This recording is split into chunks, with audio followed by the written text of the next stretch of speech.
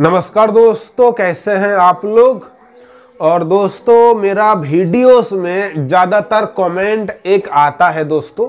ठीक है, ज़्यादातर कमेंट आता है। बहुत सारे वीडियोस में अलग अलग वीडियोस में कमेंट आता है दोस्तों।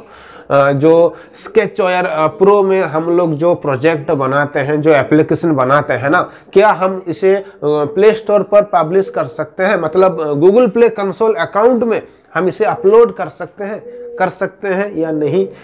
ठीक है। इसके बारे में कमेंट आता है और अगर हम प्ले स्टोर पर पब्लिश कर सकते हैं तो कैसे कर सकते हैं? ठीक है। तो इस पर बहुत सारा कमेंट आता है दोस्तों।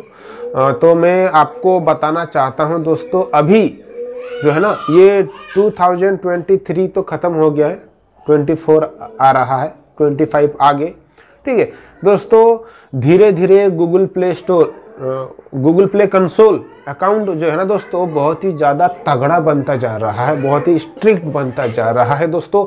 अभी जो है ना, अभी का टाइम में दोस्तों प्ले कंसोल पर ऐप पब्लिश करना इतना आसान नहीं है दोस्तों, बहुत ही बहुत ही ज़्यादा मुश्किल है। ठीक है, आसान है, अगर आपको पता है सब चीज़ें रूल्स पॉलिसी ठीक है क्या क्या है, ये सब आपको पता है तो आपके लिए आसान है। लेकिन जो नया है जिन्हें ज़्यादा कुछ पता नहीं है, उनके लिए बहुत ही ज़्यादा मुश्किल है दोस्तों। ठीक है? क्योंकि गूगल प्ले कंसोल अकाउंट में जो अभी जो नया रूल्स पॉलिसी निकाल दिया गया है ना, वो बहुत ही बहुत ही ज़्यादा टफ है दोस्तों। ठीक है? अगर आप उसको फॉलो करके जो गूगल प्ले कंसोल अकाउंट का जो रूल्स पॉलिसी है ना दोस्तों, अगर आप उसको फॉलो करके आप अपना ऐप को पब्लिश करते हैं तो बिल्कुल आसान है दोस्तों, आप इजीली इजीली पब्लिश कर पाएँगे। मैं करता हूँ ना, मेरा गूगल प्ले कंसोल अकाउंट पे मैं अपना ऐप को पब्लिश करता हूँ इजीली क्योंकि पता है। तो जिन्हें पता है, उनके लिए आसान है। जिन्हें पता नहीं है, उनके लिए मुश्किल है। और दोस्तों, अभी का समय पर और आने वाला टाइम में गूगल प्ले कंसोल अकाउंट और भी ज़्यादा टफ मुश्किल हो जाएगा दोस्तों, क्योंकि अभी बहुत मुश्किल है। आप आसानी से प्ले कंसोल अकाउंट पर ऐप को पब्लिश नहीं कर सकते हैं, ठीक है? आपको बहुत कुछ रूल्स जो पॉलिसी को फॉलो करना पड़ेगा, उसके बाद जाके आप प्ले स्टोर पर ऐप को पब्लिश कर सकते हैं, ठीक है? मतलब कोई अभी जो नॉर्मल जो जो बिगिनर जो नया नया जो डेवलपर सीख रहे हैं ना, उनके लिए तो बहुत ही ज़्यादा मुश्किल होने वाला है दोस्तों। और दोस्तों, बाकी स्केच प्रो अभी अपडेट नहीं है दोस्तों। ठीक है? अपडेट उसका अपडेट नहीं आ रहा है और पता नहीं उसका अपडेट मेरे मेरे ख्याल से, मैं उम्मीद करता हूँ शायद बहुत जल्द आ जाए, क्योंकि अभी लग रहा है उसका अपडेट आने वाला है। लेकिन फ़िलहाल स्केच ओयर प्रो का अभी कोई भी अपडेट नहीं आया है। वही ओल्ड भी six point zero point four ना कुछ, ठीक है? आर सी फाइव करके कुछ ये जो है वर्जन में इस्तेमाल कर रहा हूँ, उसका वही लेटेस्ट वर्जन है दोस्तों, उसका बात कोई अपडेट नहीं आया है। और तो उसमें अगर आप एप्लीकेशन वगैरह बनाते हैं प्रोजेक्ट फ़ाइल बनाते हैं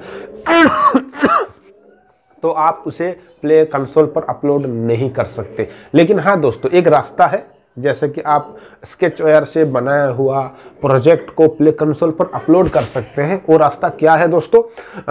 स्केच ओयर प्रो में जो हम लोग एप्लीकेशन बनाते हैं ना, जो प्रोजेक्ट बनाते हैं ना, उसका सोर्स कोड को आपको एक्सपोर्ट कर लेना है। आप कर सकते हैं इजीली एंड्रॉयड स्टूडियो का सोर्स कोड में एक्सपोर्ट कर लेना है। उसके बाद दोस्त, उसके उसके बाद दोस्तों, अगर आपके पास डेस्कटॉप या कंप्यूटर वगैरह लैपटॉप वगैरह है, उसमें एंड्रॉयड स्टूडियो इंस्टॉल कर लीजिए। ठीक है यूट्यूब में बहुत सारे ट्यूटोरियल्स है वीडियोस है, आप देख करके सीख सकते हैं।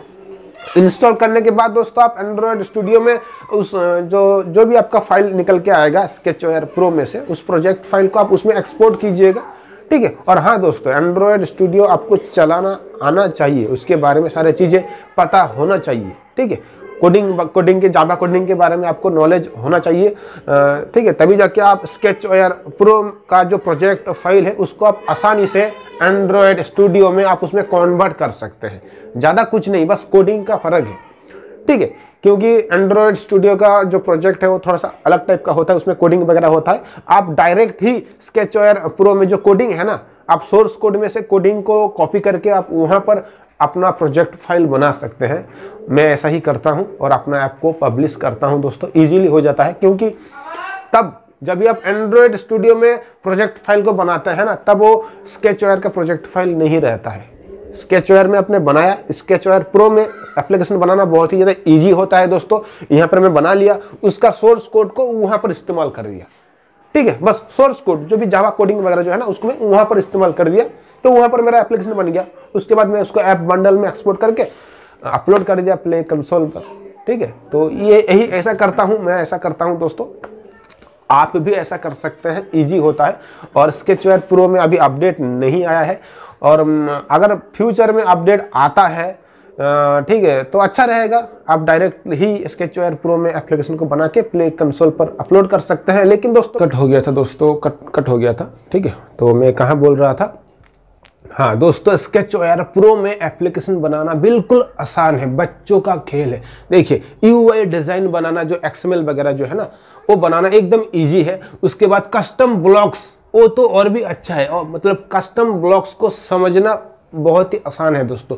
कस्टम ब्लॉक्स की मदद से आप इजीली मतलब बहुत कम समय में आप बहुत ज़्यादा कोडिंग कर सकते हैं, ठीक है?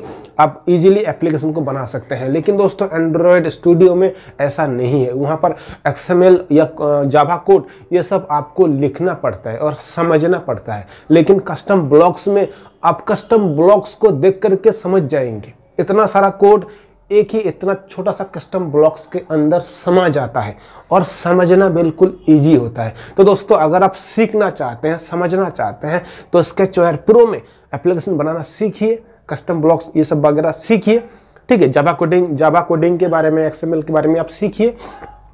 और आपका ऐप बनने के बाद उसका सोर्स कोड को आप एंड्रॉयड स्टूडियो में कॉपी पेस्ट कर दीजिए इजीली आपका एप्लीकेशन बन जाएगा। और हाँ दोस्तों, हर किसी के पास तो हर किसी के पास लैपटॉप कंप्यूटर तो नहीं है ना? हर किसी को एंड्रॉयड स्टूडियो चलाना नहीं आता है दोस्तों, खास करके जो नया लोग हैं, जिन्हें पता है उनके लिए बहुत आसान है। ठीक है, वो कैसे भी करके मैनेज कर लेता है। इधर उधर रिसर्च करके आइडिया ले लेता है। लेकिन जो नया, जो अभी सीख रहे हैं, उनके लिए बहुत ही मुश्किल अभी हो गया है। उन्हें सीखने में बहुत ज़्यादा समय लगेगा। ठीक है पहले पहले जो नया लोग है ना, पहले उन्हें डर लगेगा, यार, कितना मुश्किल काम है क्या? लेकिन सीखने के बाद बिल्कुल ईजी हो जाता है दोस्तों। ये जो Android app development Java coding वगैरह जो है ना, ये सीखने के बाद आपके लिए इजी हो जाएगा। देखिए दोस्तों, कैसा इजी होता है, वो मैं किसी और दिन आपको वीडियो में बताऊँगा। ठीक है तो बस यही जो वीडियो भी लंबा हो गया दोस्तों मैं। वीडियो को यहीं पर ख़त्म करते हैं दोस्तों। मैं उम्मीद करता हूँ आपने जो भी कमेंट वगैरह किए थे इसी चीज़ का रिलेटेड आपको सही जवाब मिल गया होगा। बाकी अगर कुछ रह गया है तो आप कमेंट ज़रूर कीजिएगा। अगर आपको कोई हेल्प चाहिए एडमोप का रिलेटेड गूगल प्ले स्टोर का रिलेटिव गूगल प्ले कंसोल का रिलेटेड या एडसेंस का रिलेटिव सारा ज्ञान मेरे पास है, लेकिन मैं वीडियो नहीं बनाता हूँ।